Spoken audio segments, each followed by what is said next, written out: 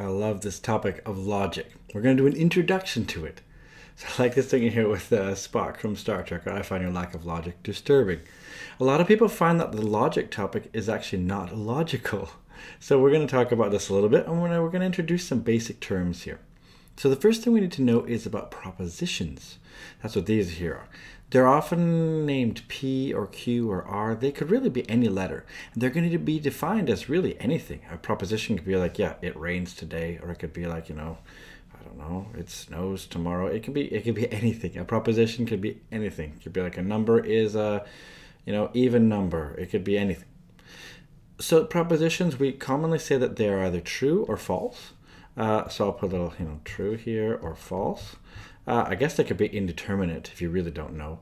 But in this case of logic, we're going to have things where we can tell if they're true or false. Then we have a negation. A negation just means that if a proposition is given as something like P, and then the negation, we have to say not P. That's what negative means. Negative, right? Negate. Right? So we want to negate something, we have to say not P. So how do we say not P with this symbology here? We use the symbols we use this term right here. This right here is what we do for negation.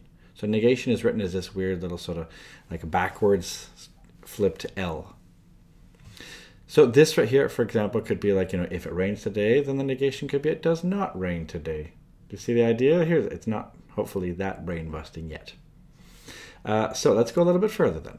So if we look at this right here, we have these words like conjunction.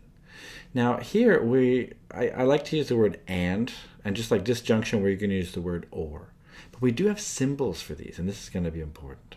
So for example, for and, um, and is written as this symbol right here. So like this, this here is a symbol for and. Uh, whereas or is written like this. That's a disjunction. Okay, so and tends to be this, and the way I remember it, you know, like the capital letter A for and, you know, if you just went like this, see? So this one right here, that symbol for it, it's like it's just missing the little, the little A here. Uh, I don't know if that helped at all, but that's how I think of it. I just think of it like a little A here for A for and. Now, what does that mean? It means that both statements need to be true. For example, if we wanted to do like P and Q, this could be a statement I could write like this, P and Q. What it means is both P and Q must be true in order for the result of this here to be true. So it's like it's hard to get into this club. In other words, they both have to be true, right? If even one of them is false, then no, this one here doesn't work. Uh, by contrast, there's disjunction. Either needs to be true. So, and they can both be true. So this right here, I use the word or. So for example, we could write like P or Q. So what that means is if P is true, then the result is true. If Q is true, the result is true. And if they're both true, also true. We got this little thing here called exclusive disjunction.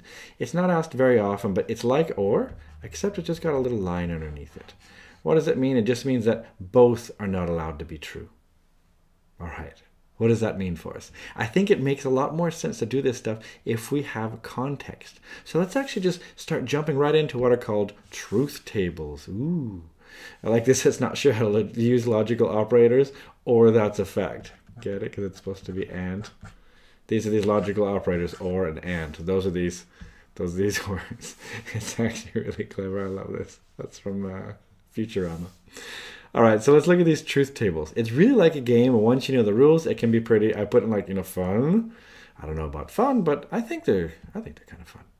So let's see if we can actually solve some of these here. Uh, so I'm going to attempt to do this here. So if we just want P, then we have Q. What they tend to do with these truth tables, they like to run through the gamut. In other words, all the different choices of true versus false. In other words, you could have P and Q be true, true, but then it could go true, then false. It could go false, then true. It could go false, then false. See, they try to run through each combination. And in a question, you'll tend to be given these already. And then we'll just sort of run through these different truth tables. So let's see if we can do them. True, true. What does this right here, uh, this right here symbol mean? Do you remember what that means? You know, it helps to remind yourself. That means not. So if it's not P, all I have to do then is almost put like blinders. Don't look at Q at all. Just look at this. If this is true, then not P must be false.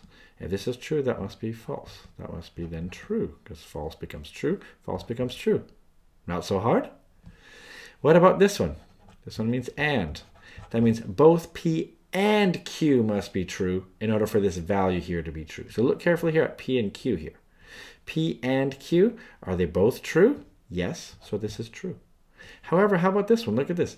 True and false. Because of that, are they both true? No, so that's why it gets false. How about this? False, true? They're not both true. So we just put a false here. How about false, false? They're also not both true. That's the key thing right here is that and means they both must be true. It doesn't mean that they both have to be the same. It means they both must be true. How about this? P or Q. Well, that's really easy to get into that club. Just one of them has to be true. So just look at this. True, true. Is one of them true? Yes. At least one. True, false? Yeah, one of them is true. False, true? There's one that's true. False, false? No. That's the only one that gets a false. What is exclusive disjunction? That's this one right here. This just means it's just like the or, except they're not allowed, look at this, they're not both allowed to be true. So if they both can't be true, then what do I do? Uh, everything else is going to be the same except for this one right here. So in other words, it's going to be just the same as this one, except when they've both been true, that one gets a false. Everything else is the same. So true is still true, still true, and still false. You see it's still the same as these ones? That's it. That's not so bad, is it? Let's do some more examples. So what about this one? So if we get a question like, for P and Q, draw the truth table for this thing. Uh-oh. How are we going to do this? I think it helps to build the pieces you're going to need. So I think first, maybe let's do, um, let's do this thing. We're going to need this thing right here. That's not Q. Let's first draw that one. So can we first do that one? I think we can. Let's try it out here. So not Q. What's that? Well, it's opposite of Q. So if this Q is true, then that one's false. If that one's false, this one's true. This one's false. This one's true. Not brain busting yet. I think now we're actually ready to do this one right here. So P or not Q. That's what this means, right? Or. This means not Q.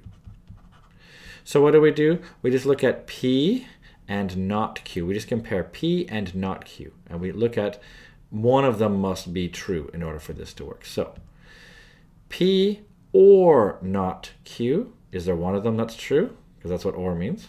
Yes, there's one of them that's true. How about P or not Q? Is there one of them true here? Yes, they're both true, in fact.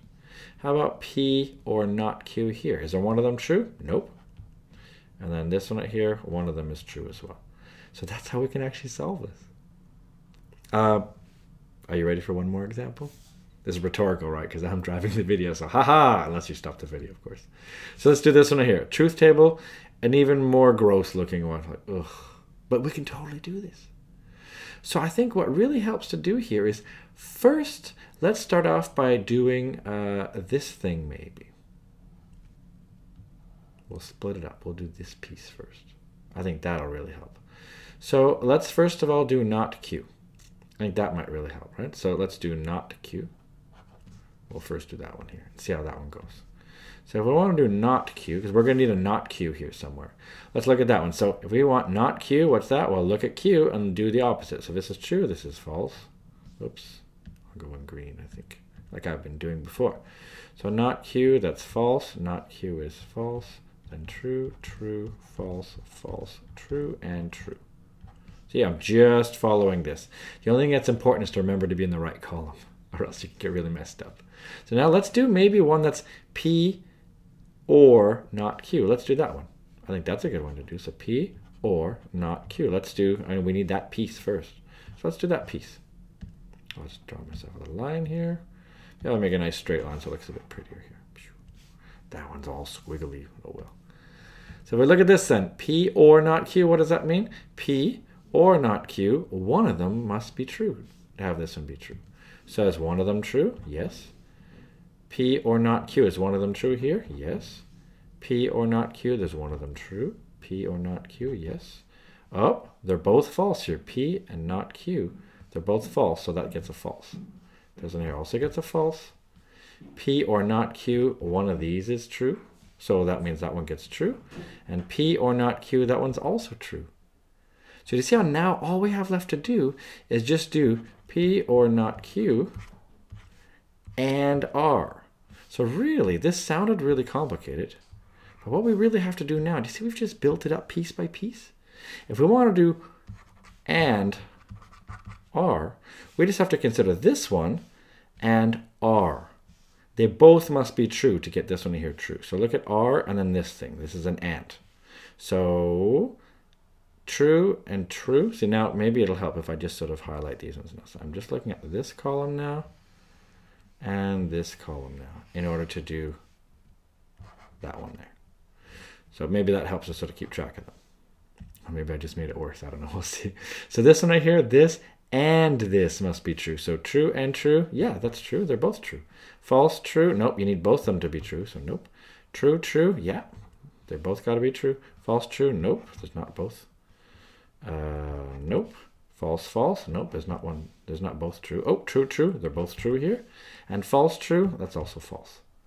So although this may seem a little bit sort of like brain busting, do you see these rules here? As long as you understand the rules between and, or, and not, you're pretty much good to go with these logic, uh, especially these truth tables. So I hope that helps you out. And another video, we're going to go even further.